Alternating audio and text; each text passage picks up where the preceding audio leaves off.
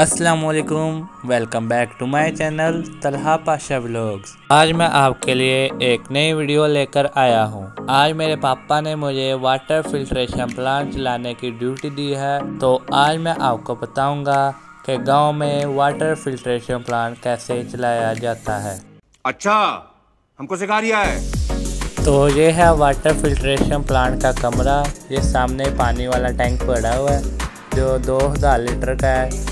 और ये है फ़िल्टर प्लांट। तो अब मैं इस फ़िल्टर प्लांट को चलाऊँगा बेसिकली ये फ़िल्टर प्लांट सोलर पैनल पे चलता है और ये सोलर पैनल का इन्वर्टर लगा हुआ है। तो सबसे पहले मैं इसके ब्रेकर्स ऑन कर दूँगा।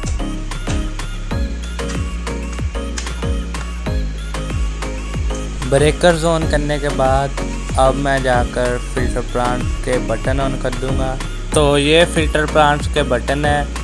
जो कि फ़िल्टर प्लांट्स के पंप के हैं तो इनको मैं ऑटो की तरफ़ ऑन कर दूँगा, ताकि जब भी फ़िल्टर प्लांट की टंकी भर जाए तो ये पंप ऑटोमेटिकली बंद हो जाए।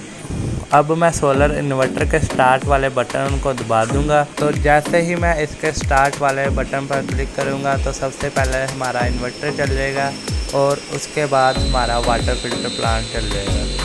तो ये देखें, हमारा वाटर फ़िल्टर प्लांट चल चुका है। आपको इसके पंप से चलने की आवाज़ आ रही होगी। तो वाटर फिल्ट्रेशन प्लांट हमारा मुकम्मल तौर पर चल चुका है।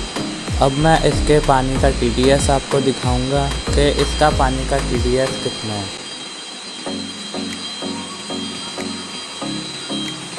इसके TDS का लेवल हमने 150 और 200 के दरमियान सेट किया हुआ है।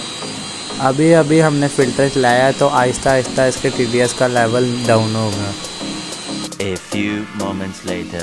Filtration plant अब चल चुका है तो लोग पानी भरने के लिए आ चुके हैं। इस फ़िल्टर प्लांट को वाइटल ग्रुप्स वालों की तरफ़ से लगाया गया है और इस फ़िल्टर प्लांट को इंस्टॉल मेरे पापा ने किया है। ये छोटा सा बच्चा इस रक्शे पर पानी लेने आया अपने कज़न के साथ। अब इससे रक्षा ही नहीं स्टार्ट हो रहा।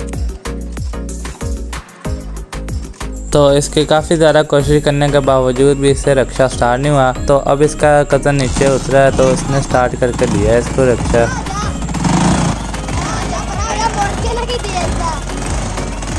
तो इसका कज़न पीछे बैठे डर रहा है कि पता नहीं मेरे साथ क्या होगा।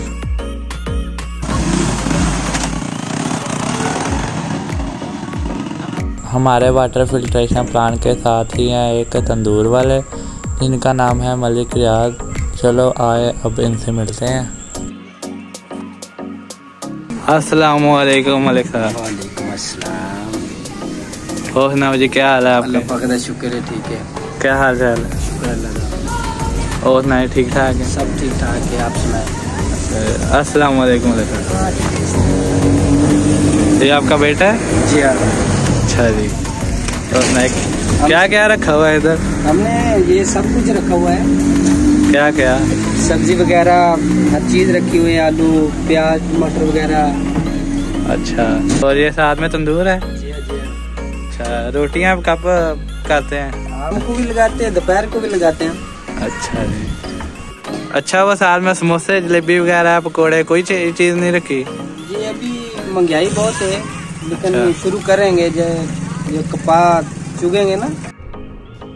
ये क्या है? ये ये कपास चुगेंगे ना।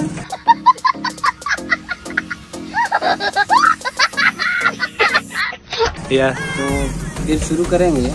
समोसा और जलेबी नाल चलाएगा अच्छा। चलो ठीक है शुक्रिया जनाब। ओके सर मेहरबानी थैंक यू अस्सलाम वालेकुम। हाँ जी जनाब की लेना है? नींबू लाना है। अच्छा की रेट है वो जी सोने दे पा।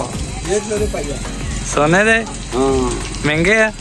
महँगे चंगे फले ये बड़ी अच्छी बात कही आप। तो उम्मीद है मुझे कि आपको मेरी ये वीडियो ज़रूर पसंद आई होगी। अगर आपको मेरी ये वीडियो पसंद आई है तो मेरी वीडियो को लाइक करें कमेंट करें और मेरे चैनल को ज़रूर सब्सक्राइब करें। तो मिलेंगे अब अगली वीडियो में। अल्लाह हाफिज़। भाई मज़ा आया।